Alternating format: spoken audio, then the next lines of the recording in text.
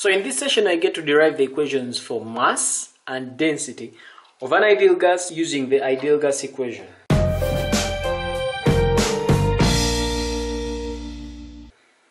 Of course, here we will be just playing around with the ideal gas equation, manipulating it to get the parameters we want. The ideal gas equation, PV is equal to nRT, where this is pressure, that is volume, that is the number of moles, and this is the molar gas constant, and that's the absolute temperature. Now, what do we want here? Uh, we want to use this to get the mass of a gas, an expression for the mass of the gas. Definitely, we know that N is given by the mass ms, we've denoted it this time as m subscript s. This is the mass of the substance divided by the relative molecular mass of that gas.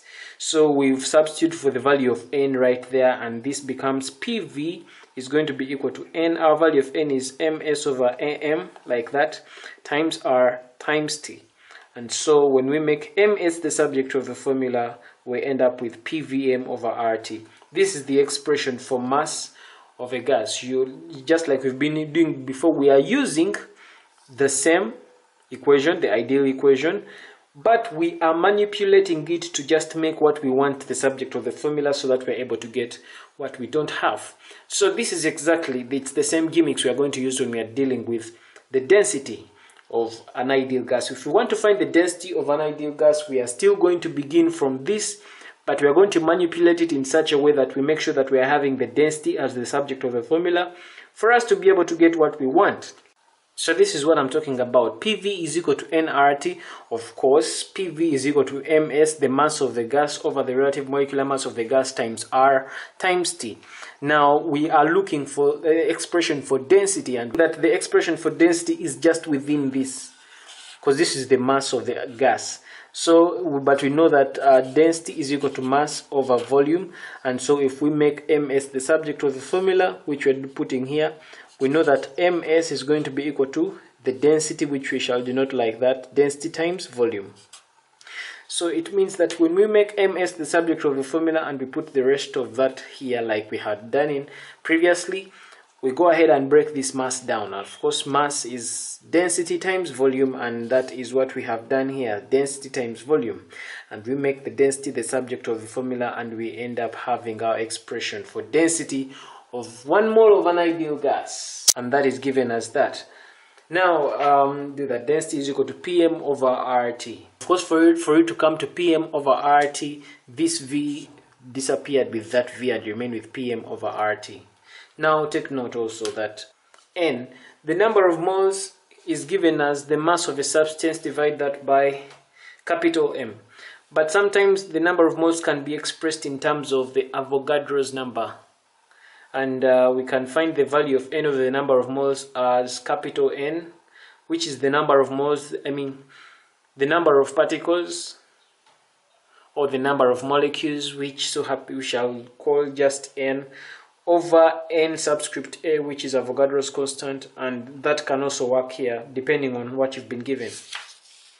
This is what I'm talking about that capital N over NA n being the number of molecules divided by that by Na over that is Avogadro's constant n right here these are the number of moles so for the value of n can be the mass of the substance divided that by the relative molecular mass or it can be the number of mo molecules. The number of molecules is the same as the number of the mass of the substance divided by Avogadro's constant of so in this question they're asking us to calculate the number of atoms of an ideal gas of this volume, of that pressure and of this temperature. We have the molar gas constant and the Avogadro's number. They're asking us to calculate the number of atoms. So now if you know, we know that PV is equal to nRT and we know that the number of atoms comes from this now like from our earlier derivations we know that the value of n n can be given as uh, the number of atoms that they are talking about divide that by Avogadro's constant. So if we substitute this right there we are interested in getting that value of n. So getting that value of n we know that pv is going to be equal to n over Avogadro's number times r times t. Making n the subject of the formula means that we have a value of n right there as PV times NA divided by RT. So we, get, we calculate and get the value of n, the number of atoms that they're the ones they want in the question. So we go ahead and substitute. The, va the value of n is going to be equal to our pressure. Our pressure in this case is 1.1 times 10 to the power 5 times our volume. Our volume is 5.5 times 10 to the power negative, uh, 2 times Avogadro's constant. Avogadro's constant in this case is 6.02 times 10 to the power 23 divide all this by r times t. r universal gas constant 8.31 multiply that by the um, absolute temperature. Uh, the temperature in this case the question says it's 20 degrees celsius. It's 20 degrees celsius. Convert that to kelvin. We add that plus 273 to convert it to kelvin and we definitely have our number of particles as or 1.49 times 10 to the power 24 atoms. Now another way of doing this number is, uh, you see this PV is equal to nRT, you can simply come and say PV is equal to nRT and then you first find the value of n. This means that uh, you're going to put the, the, the, the amount of pressure right there. The pressure is 1.1 so you come and say 1.1 times 10 to the power 5 multiply that by the volume. Of course the volume is given as 5.5 times 10 to the power negative 2 is going to be giving us the value of n times r our value of r is 8.31 times our absolute temperature which so happens to be 20 degrees celsius so you call it 20 plus 273 Kelvin. So you get your value of N. After getting your value of N and um, you get around 2.4835 moles, then you will go and say that one mole of an ideal gas has got 6.02 times 10 to the power 23 atoms.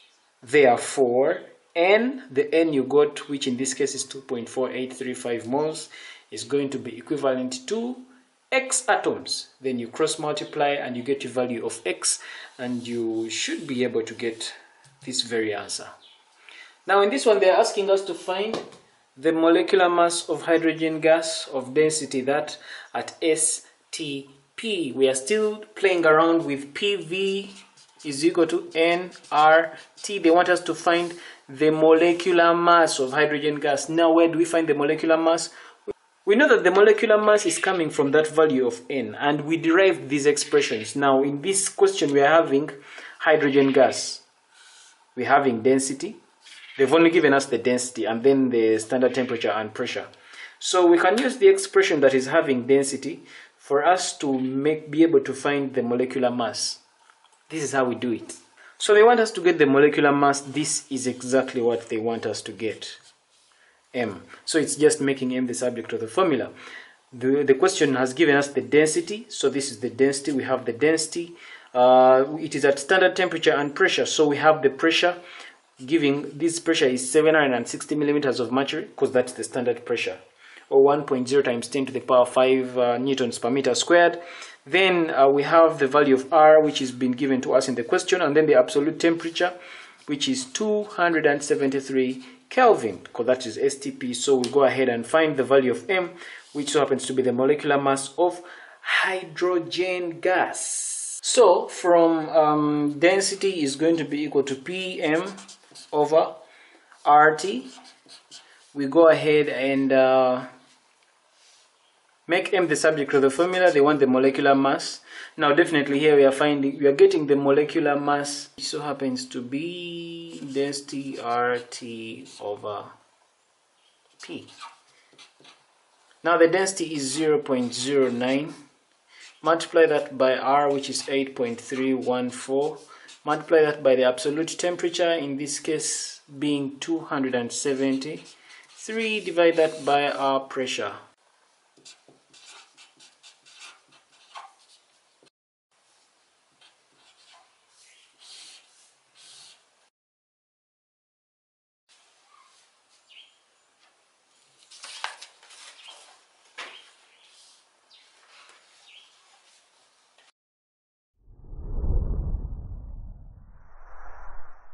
This brings us to the end of this video. Thanks for watching. Feel free to check out other excellent videos on the channel and don't forget to subscribe. For Kisembo Academy, this is Arnold Rangakuramia helping you manifest excellence.